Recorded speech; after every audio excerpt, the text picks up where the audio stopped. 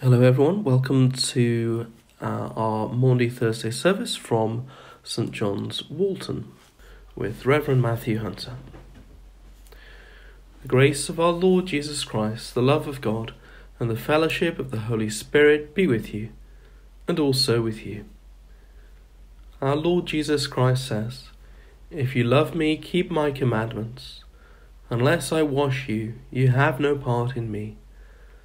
Let us confess to Almighty God our sins against His love and ask Him to cleanse us. We keep a few moments quiet. Have mercy on us, O God, in your great goodness. According to the abundance of your compassion, blot out our offences. Lord, have mercy. Lord, have mercy. Against you only have we sinned and done what is evil in your sight. Christ, have mercy. Christ, have mercy. Purge us from our sin, and we shall be clean. Wash us, and we shall be whiter than snow. Lord, have mercy. Lord, have mercy. May the Father forgive us by the death of his Son, and strengthen us to live in the power of the Spirit all our days. Amen and because we've come to the um, end of Lent, we resume the Gloria. Please do join in if you know the words.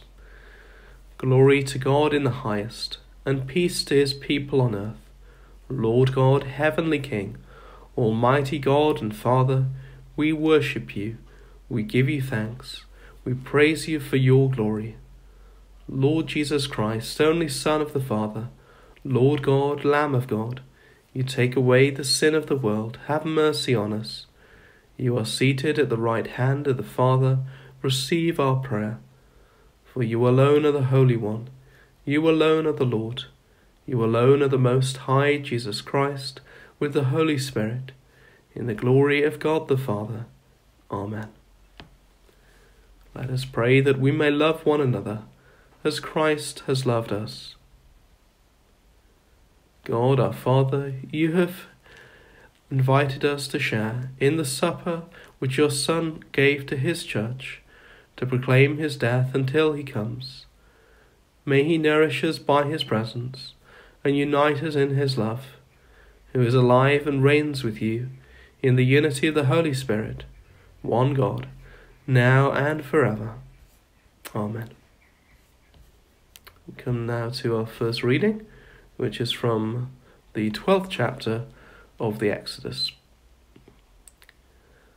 The Lord said to Moses and Aaron in the land of Egypt, This month shall mark for you the beginning of months, and it shall be the first month of the year for you.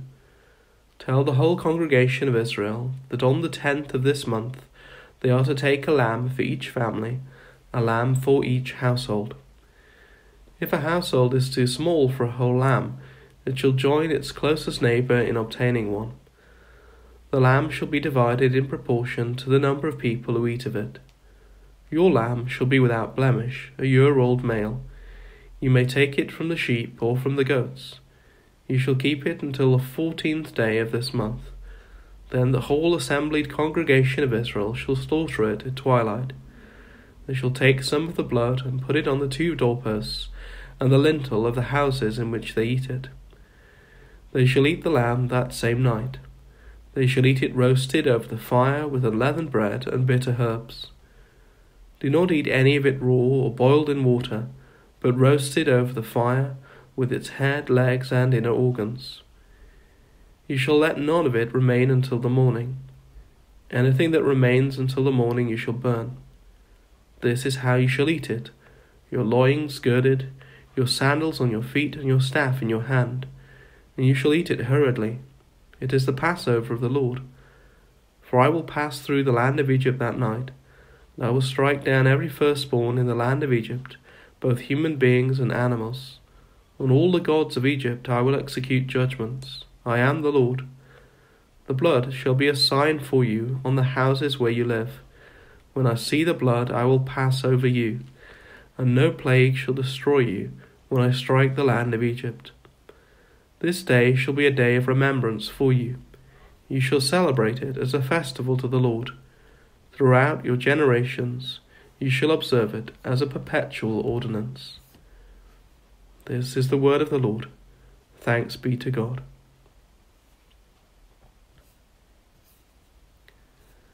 And we come next to our Gospel reading. Praise to you, O Christ, King of eternal glory. I give you a new commandment, says the Lord love one another as I have loved you. Praise to you, O Christ, King of eternal glory. Hear the gospel of our Lord Jesus Christ according to John. Glory to you, O Lord. Now, before the festival of the Passover, Jesus knew that his hour had come to depart from this world and go to the Father. Having loved his own who were in the world, he loved them to the end. The devil had already put it into the heart of Judas, son of Simon Iscariot, to betray him. And during supper, Jesus, knowing that the Father had given all things into his hands, that he had come from God and was going to God, got himself up from the table, took off his outer robe, and tied a towel around himself. Then he poured water into a basin and began to wash the disciples' feet and to wipe them with the towel that was tied around him. He came to Simon Peter, who said to him, Lord, are you going to wash my feet? Jesus answered, You do not know now what I am doing, but later you will understand. Peter said to him, You will never wash my feet. Jesus answered, Unless I wash you, you shall have no share with me. Simon Peter said to him, Lord, not my feet only, but also my hands and my head. Jesus said to him, One who has bathed does not need to wash, except for the feet, but is entirely clean. And you are clean, though not all of you.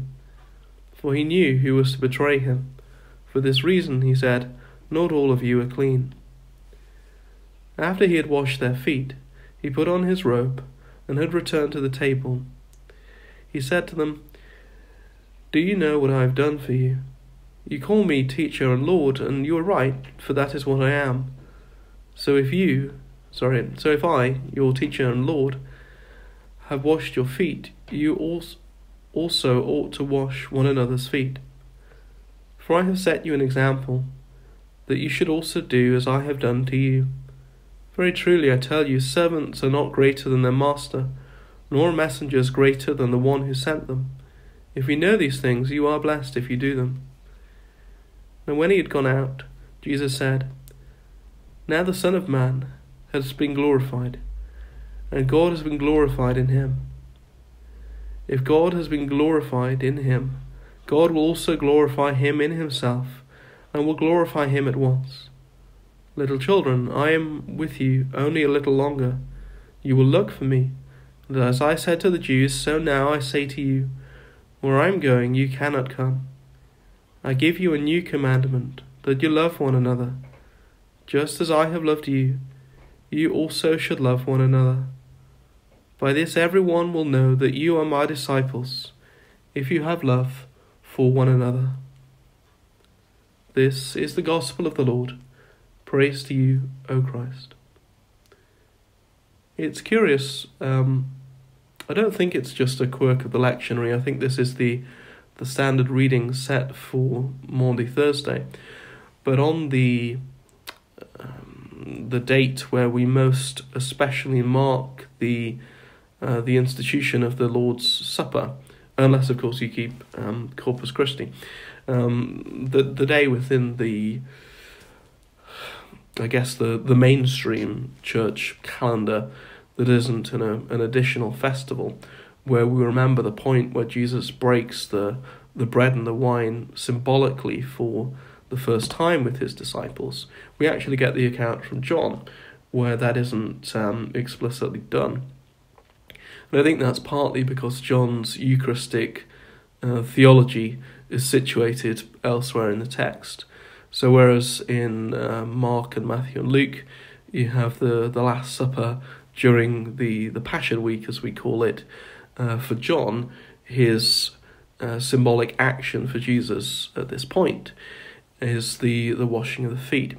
And in some ways, I think that's doubly appropriate for our coronavirus um, period because this is uh, a time when the church um, isn't meeting together collectively for the Eucharist, and also it's a period where washing is absolutely at the forefront of all our, our thoughts in terms of preventing infection.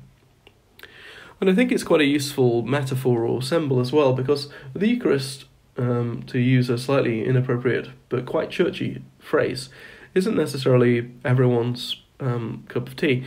Um, not everyone who comes to our services uh, necessarily receives the bread and the wine. They might come up for a blessing instead. They might be um, working towards confirmation. A couple of our young people were due to do so um, this year. Unfortunately, that's probably going to be delayed now. But wherever we are in our Christian journeys, or to put it more broadly, in our spiritual paths, um, the Eucharist can be something which is um, a bit of a an insider activity. I guess it also has to be said that notoriously um, churchgoers don't tend to like volunteering for foot washing on Maundy Thursday. It's not something that I think we've done um, in my time, at least at St John's. We didn't do it last year. I don't think we did it in Hexham, and um, in in Halifax, the the vicar had to pretty much press gang people into being involved. You might be relieved to learn that uh, I won't be live streaming a, a foot washing, as I haven't been live streaming a Eucharist.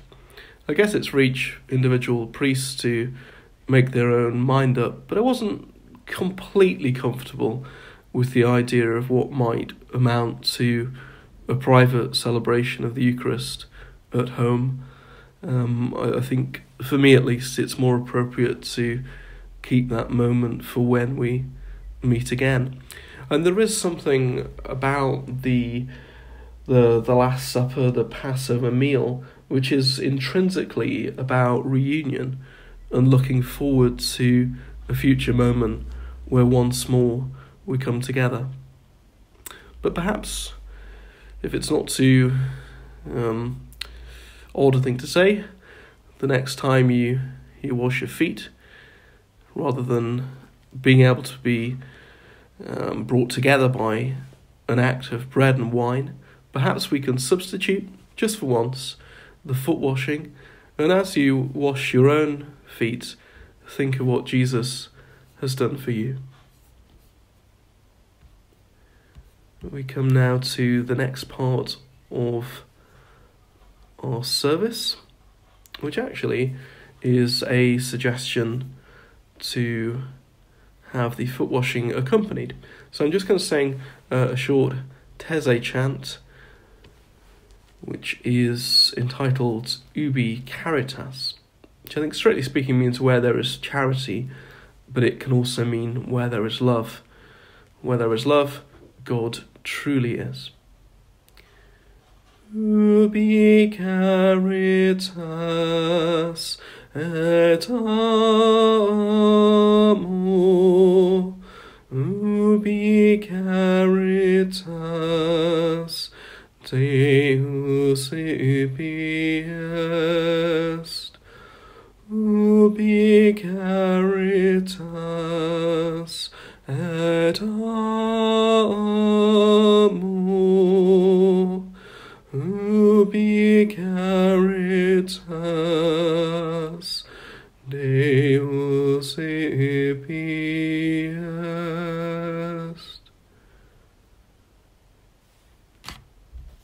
I know people tend to sing in the shower. Um, perhaps you could just mull over those words, and if you find it coming back to yourself, perhaps give it a sing as well. Lord Jesus Christ, you have taught us that what we do for the least of our brothers and sisters, we do also for you. Give us the will to be the servant of others, as you are the servant of all, and gave up your life and died for us, but are alive and reign, now and forever. Amen. And now, in the power of the Spirit, let us pray to the Father through Christ, the Saviour of the world. And the response to Lord, hear us is actually very variable, so I'll just say that myself. Father, on this night, the night he was betrayed, your Son Jesus Christ washed his disciples' feet.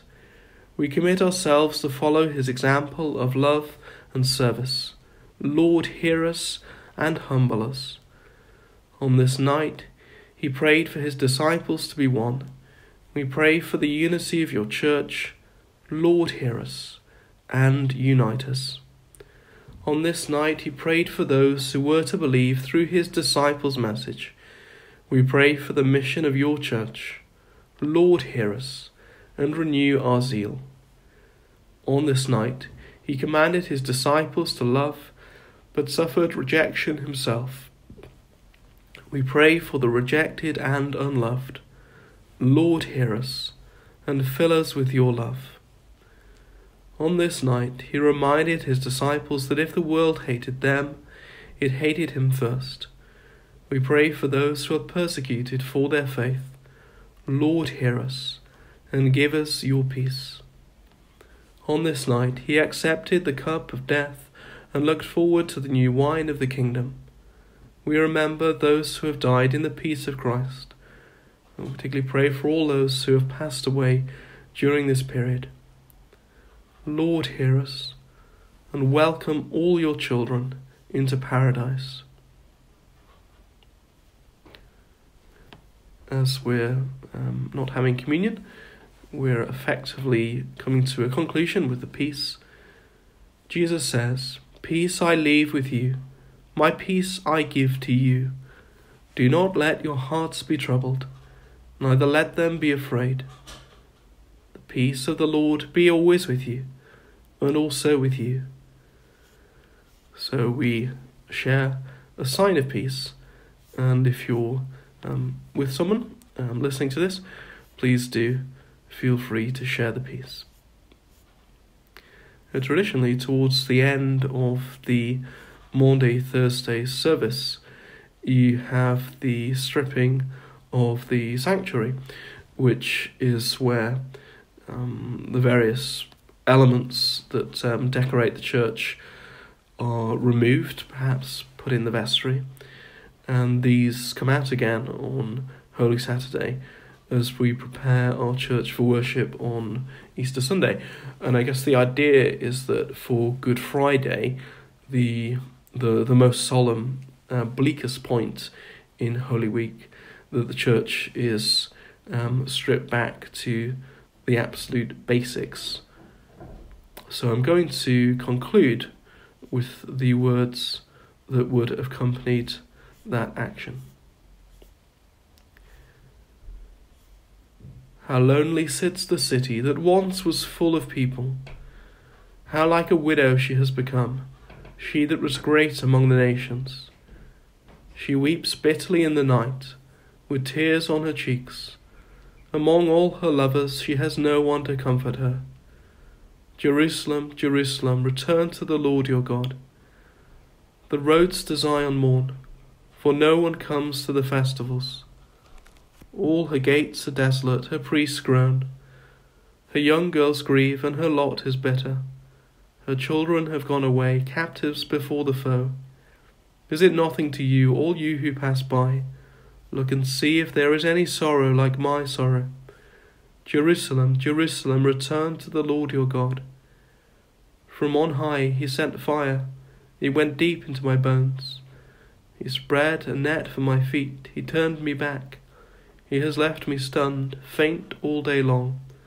For these things I weep, my eyes flow with tears. For a comforter is far from me, one to revive my courage. My children are desolate, for the enemy has prevailed. Jerusalem, Jerusalem, return to the Lord your God. All who pass along the way clap their hands at you. They hiss and wag their heads at daughter Jerusalem. Is this the city that was called the perfection of beauty, the joy of all the earth? The thought of my affliction and homelessness is wormwood and gall. Jerusalem, Jerusalem, return to the Lord your God. The steadfast love of the Lord never ceases his mercies never come to an end. They are new every morning. Great is your faithfulness.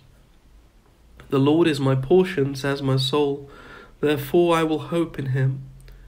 The Lord is good to those who wait for him, to the soul that seeks him. Jerusalem, Jerusalem, return to the Lord your God. It is good that one should wait quietly for the salvation of the Lord.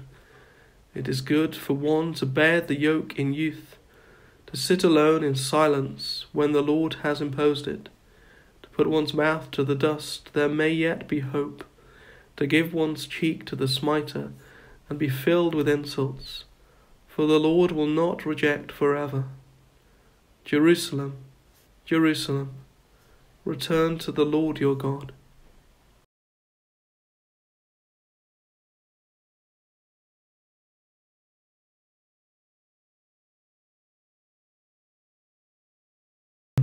They went out to the Mount of Olives.